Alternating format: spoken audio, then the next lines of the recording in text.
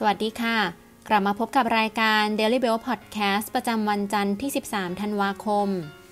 ตลาดหุ้นสหรัฐในคืนวันศุกร์ที่ผ่านมา ต่างปิดปรับตัวสูงขึ้น แม้ว่าตัวเลขเงินเฟอ้อสหรัฐ จะออกมาสูงสุดในรอบ 39 ปี โดยดัชนี CPI ซึ่งเป็นมาตรวัดเงินเฟอ้อจากการใช้จ่ายของผู้บริโภคในเดือนพฤศจิกายน ออกมาปรับตัวสูงขึ้น 6.8%เมื่อเทียบรายปี สูงสุดนับตั้งแต่ปี 1982 และสูงกว่าที่นักวิเคราะห์คาดการที่ระดับ 6.7%โดยหลักๆ มาจากการปรับตัวขึ้นของราคารถยนต์มือสอง และต้นทุนพลังงานที่สูงขึ้น ขณะที่ดัชนีคอ CPI ซึ่งไม่นับรวมหมวดอาหารและพลังงาน ออกมาปรับตัวขึ้น 4.9%เมื่อเทียบรายปี สอดคล้องกับที่นักวิเคราะห์คาดการค่ะ ทั้งนี้มีความเห็นจากประธานาธิบดีโจไบเดน ระบุว่า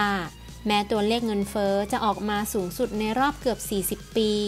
แต่คาดว่าตัวเลขดังกล่าว อยู่ในระดับที่สูงสุดแล้ว โดยในเร็วๆนี้ อาจเห็นตัวเลขเงินเฟอ้อ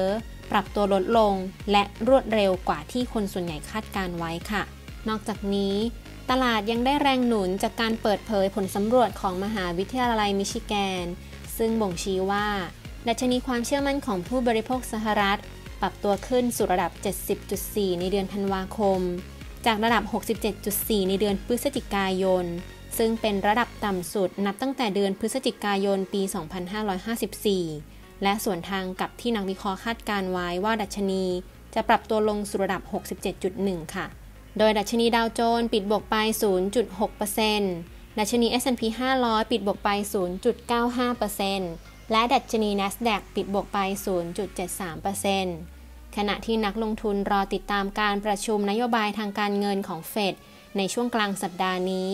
โดยนักวิเคราะห์คาดการณ์ว่าเฟดจะปรับลดวงเงิน QE ที่เร็วขึ้นจากเดิมในการประชุมครั้งนี้ค่ะสำหรับตลาดหุ้นยุโรปในคืนวันศุกร์ที่ผ่านมา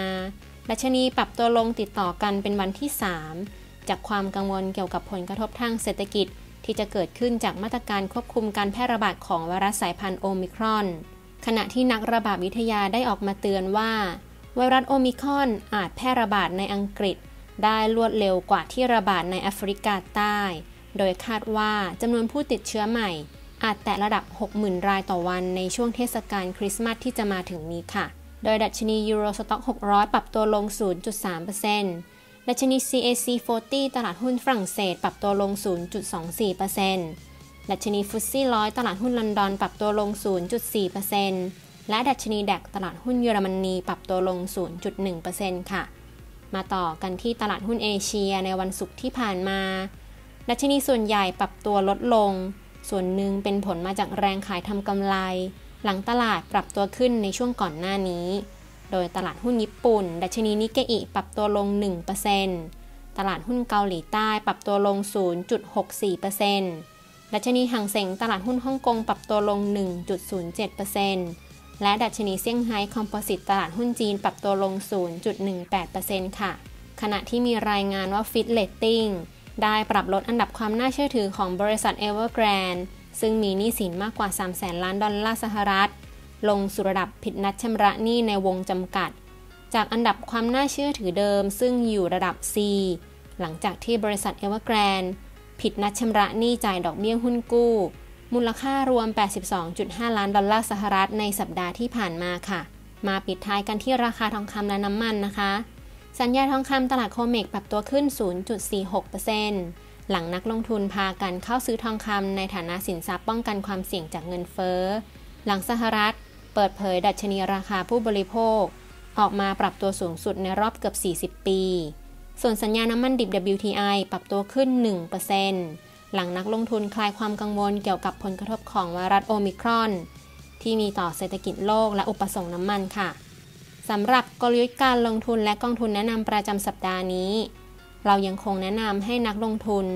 เน้นการกระจายการลงทุนอย่างระมัดระวัง โดยรอจังหวะลงทุน ในช่วงการประชุมของธนาคารกลางขนาดใหญ่ 3 แห่งของโลก ได้แก่ FOMC ECB และ BOE โดยเป็นจังหวะซื้อสะสมในกองทุนที่ให้ผลตอบแทนดีในระยะยาว เช่น กองทุนเปิดวัน UGG กองทุนเปิดทหารไทย TMB GQG กองทุนเปิดกรุงศรียุโรป Equity Hedge KFH Europe ขีด A และกองทุนเปิด MFC M China GD หลังจากตลาดหุ้นจีนเริ่มมีการรีบาวรวมถึงนักลงทุนต่างชาติ มีการซื้อสุทธิในตลาดหุ้น A share ในช่วง 6 เดือนที่ผ่านมา ประกอบกับผลกระทบด้าน regulatory risk จากรัฐบาลจีนในหุ้น A share นั้น น้อยกว่าหุ้น H share ค่ะ และนี่คือทั้งหมดของรายการในวันนี้ แล้วพบกันใหม่ในวันพรุ่งนี้กับทีม Well Advisory by CIMB Thai Bank สำหรับวันนี้ขอขอบคุณและสวัสดีค่ะ